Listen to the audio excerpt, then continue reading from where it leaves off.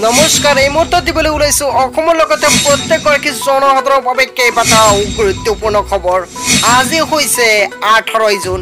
আজিৰ দিনত অসমৰ লগতে ভাৰতবৰ্ষৰ বিভিন্ন প্ৰান্তৰ পৰা কেইবাটাও গুৰুত্বপূৰ্ণ খবৰ একত্ৰিত কৰা হৈছে। এই মুহূৰ্তে জনাই আছো আজি আমাৰ প্ৰথমটো খুবেই গুৰুত্বপূৰ্ণ খবৰ। আজিৰ আমাৰ প্ৰথমটো খুবেই গুৰুত্বপূৰ্ণ খবৰ হৈছে বানপানীৰ মাজত। বৰষুণৰ মাজত বহুতো মানুহৰ ক্ষয় ক্ষতি হৈছে। আৰু তাৰে মাজত চৰকাৰে এখন নতুনকৈ আঁচনি মুকলি কৰিছে। যিটো আঁচনিৰ মাধ্যমত যদিহে আপুনি আবেদন কৰে আপোনালোকৰ বেংক একাউণ্টত সোমাব দহৰ পৰা বিছ হাজাৰকৈ টকা। আপুনি কেনেকুৱাকৈ আবেদন কৰিব এইখন আঁচনি? সম্পূৰ্ণকৈ আপোনালোকক দেখুৱাম। ভিডিঅ'টো আজি আপুনি অল্পকৈ স্কিপ নকৰাকৈ চাই থাকিব। আপুনি প্ৰথমতে আপোনালোকৰ মোবাইল ফোনৰ পৰা যিকোনো এটা ব্ৰাউজাৰ অ'পেন কৰি আপুনি চাৰ্চ কৰি দিব।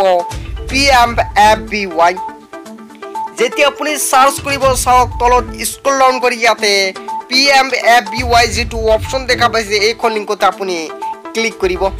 ক্লিক কৰাৰ লগে লগে ওপৰত চাওক ইয়াতে three dot three dot click কৰিব। তলত স্ক্ৰল কৰি ইয়াতে ডেষ্টমৰত প্ৰথমতে পেজটো আপুনি অ'পেন কৰি লৈ ল'ব। এতিয়া চাওক এনেকুৱাকৈ পেজটো অহাৰ পিছত ইয়াতে সম্পূৰ্ণকৈ ওপৰত দেখা পাব এটা অপশ্যন দেখা পাইছে আপুনি। তলত চাওক ইয়াতে ফাৰ্মাৰ কৰ্ণাৰ বহুকেইটা অপশ্যন দেখা পাইছে। ইয়াতে চাওক ওপৰত দেখা পাব ইয়াতে ৰেজিষ্টাৰ বুলি এটা অপশ্যন দেখা পাইছে। আপুনি প্ৰথমতে ৰেজিষ্টাৰ প্ৰথমতে ক্লিক কৰিব।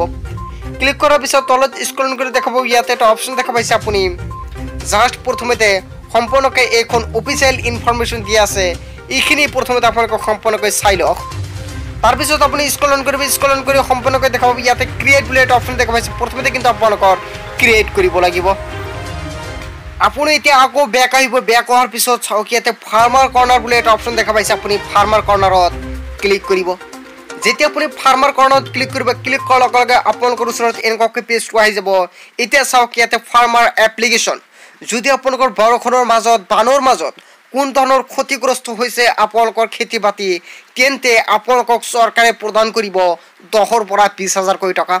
ইয়াতে চাওক আপুনি এটা অপশ্যন দেখা পাইছে। গেষ্ট ফাৰ্মাৰ আপুনি গেষ্ট ফাৰ্মাৰত ক্লিক কৰিব। যেতিয়া আপুনি ক্লিক কৰিব ক্লিক কৰাৰ লগে লগে চাওক ইয়াতে register for new farmer user নতুনকৈ আপোনালোকে ইয়াতে আবেদন কৰিবলৈ হ'লে চাওক ইয়াতে ফুল নেম ইয়াতে আপোনাৰ ফুল নেমটো বহাই দিব। তলত স্ক্ৰল কৰি দেখা পাব ইয়াতে ৰিলেশ্যনশ্বিপ ইয়াতে ক্লিক কৰিব। ক্লিক কৰাৰ পিছত চাওক সেইখনৰ লগত আপুনি কি ৰিলেশ্যন সেই আপুনি বহাই দিব। বহাই দিয়াৰ পিছত চাওক ইয়াতে আপোনালোকৰ ৰিলেটিভ নেমটো ইয়াতে বহাই দিব। তাৰপিছত ইয়াতে আপোনালোকৰ এখন মোবাইল নাম্বাৰ বহাব বহাৰ পিছত তলত চাওক ইয়াতে এছ ইয়াতে আপোনাৰ বহাইটো দি দিব। দি দিয়াৰ পিছত তলত চাওক ইয়াতে আপোনাৰ কাষ্ট কেটেগৰী কাষ্ট কেটেগৰীটো আপুনি ইয়াৰ পৰা চিলেক্ট কৰিব। তাৰপিছত তলত স্ক্ৰল কৰি দেখাব ইয়াতে জেণ্ডাৰ জেণ্ডাৰটো আপুনি চিলেক্ট কৰিব। যদিহে মহিলা হয় তেনে ক্ষেত্ৰত ফেমেল দিব। আৰু যদি পুৰুষ হয় তেনে ক্ষেত্ৰত মেল আৰু যদি আধাৰ হয় তেন্তে আপুনি আধাৰ চিলেক্ট কৰিব। তাৰপিছত চাওক ইয়াতে আপোনালোকৰ ফাৰ্মাৰ টাইপটো ইয়াৰ পৰা দেখা পাব ইয়াতে স্মেল আপুনি এইটো চিলেক্ট কৰিব। চিলেক্ট কৰাৰ পিছত তলত চাওক ইয়াতে ফাৰ্মাৰ কেটেগৰী ইয়াতে ক্লিক কৰিব। ক্লিক কৰাৰ পিছত চাওক আপোনালোকৰ যোনখন ঠাইত আপোনালোকৰ খেতি বাতিৰ ক্ষতিগ্ৰস্ত হৈছে সেইখন ঠাইত আপুনি অনাৰ যদি অনাৰ হয় তেনে ক্ষেত্ৰত আপুনি অনাৰত ক্লিক কৰিব। আৰু যদি বেলেগ হয় তেনে ক্ষেত্ৰত দুটাই ইয়াতে দি আছে ইয়াৰ পৰা আপুনি চিলেক্ট কৰি ল'ব। তাৰপিছত চাওক ইয়াতে ষ্টেট ইয়াৰ পৰা আপোনালোকৰ যিখন ষ্টেট ষ্টেটটো আপুনি চিলেক্ট কৰিব। তাৰপিছত ইয়াতে ডিষ্ট্ৰিক্ট ইয়াৰ পৰা আপোনালোকৰ যিখন ডিষ্ট্ৰিক্ট ডিষ্ট্ৰিক্টটো আপুনি ইয়াৰ পৰা চিলেক্ট কৰি লৈ ল'ব। লৈ লোৱাৰ পিছত তলক চাওক ইয়াতে আপুনি এটা অপশ্যন দেখিব চাব ডিষ্ট্ৰিক্ট ইয়াৰ পৰা আপুনি চাব ডিষ্ট্ৰিক্টটো চিলেক্ট কৰি লৈ ল'ব। তাৰপিছত চাওক ইয়াতে ভিলেজ ইয়াৰ পৰা আপোনালোকৰ যিখন ভিলেজ ভিলেজটো আপুনি চিলেক্ট কৰি লৈ ল'ব। আপোনালোকৰ যিটো ভিলেজ হয় সেইখন কিন্তু সম্পূৰ্ণকৈ কিন্তু ভিলেজটো আপোনালোকৰ ইয়াতে দিয়া থাকিব। সেয়ে কিন্তু ইয়াৰ পৰা আপোনালোকৰ ভিলেজ অনুযায়ী আপুনি চিলেক্ট কৰি লৈ ল'ব। চিলেক্ট কৰি লৈ লোৱাৰ পিছত চাওক তলত স্ক্ৰল কৰি দেখা পাব ইয়াতে আপুনি এড্ৰেছ আপোনালোকৰ ফুল এড্ৰেছটো ইয়াতে বহাই দিব। তাৰপিছত ইয়াতে পিনক'ডটো দি দিব। দি দিয়াৰ পিছত ইয়াতে অট'মেটিকলি চাওক ইয়াতে এটা অপশ্যন দেখা পাইছে ফাৰ্মাৰ আই ডি ইয়াতে কিন্তু আপোনালোকে এইখন দিব লাগিব। দি দিয়াৰ পিছত চাওক ইয়াতে ফাৰ্মাৰ আই ডি অট'মেটিকলি কিন্তু ইয়াতে আহি বহি যাব। বহি যোৱাৰ পিছত তলত চাওক ইয়াতে আপোনাৰ আই ডি নাম্বাৰটো ইয়াতে বহাই দিব লাগিব। চাওক ইয়াৰ পৰা যিকোনো এটা আই ডিটো আপুনি চিলেক্ট কৰি লৈ লোৱাৰ পিছত ভেৰিফাই কৰি লোৱাৰ পিছত আপুনি তলত স্ক্ৰলন কৰিব। স্ক্ৰলন কৰাৰ পিছত আপোনালোকৰ এখন বেংক একাউণ্টৰ প্ৰয়োজন হ'ব। যিখন বেংক একাউণ্টত আপোনালোকক চৰকাৰে টকা প্ৰদান কৰিব তাৰ কাৰণে কিন্তু আপোনালোকৰ এখন বেংক একাউণ্ট দিব লাগিব।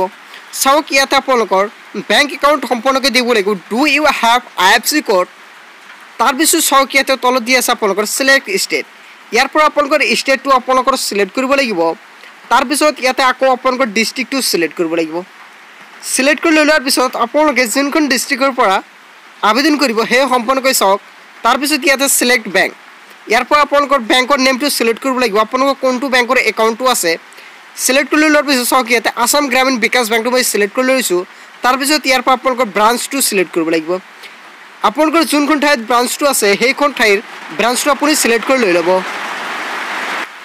তাৰপিছত চাওক ইয়াতে আপোনালোকৰ ছেভিং বেংক একাউণ্ট নাম্বাৰটো বহাই দিব। তাৰপিছত ইয়াতে কনফাৰ্ম ইয়াতে আকৌ আপোনালোকৰ একাউণ্ট নাম্বাৰটো বহাই দিব লাগিব। বহাই দিয়াৰ পিছত তলত চাওক ইয়াতে। তাৰপিছত চাওক ইয়াতে আপোনালোকে এখন কেপচা দেখা পাইছে। কেপচাটো আপুনি তলত বহাই দিয়াৰ পিছত ক্ৰিয়েট ইউজাৰ বুলি এটা অপশ্যন দেখা পাইছে আপুনি ইয়াতে ক্লিক কৰিব। ক্লিক কৰাৰ লগে লগে আপোনালোকৰ আই ডিটো ক্ৰিয়েট হৈ যাব। তাৰপিছত নেক্সট ষ্টপত দেখাম আপুনি কেনেকুৱাকৈ সম্পূৰ্ণকৈ আবেদন কৰিব। চ' ডেৰ ভিউৱাৰ্ছ আজিৰ মূল ভিডিঅ'খনত আপোনালোকক এইখিনি সৰু এটা ইনফৰমেশ্যন দিবলগীয়া আছিলে। ভিডিঅ'টো ভাল লাগিলে লাইক কমেণ্ট শ্বেয়াৰ কৰিব। চ' থেংক ইউ ফৰ ৱাচিং ফুল ভিডিঅ'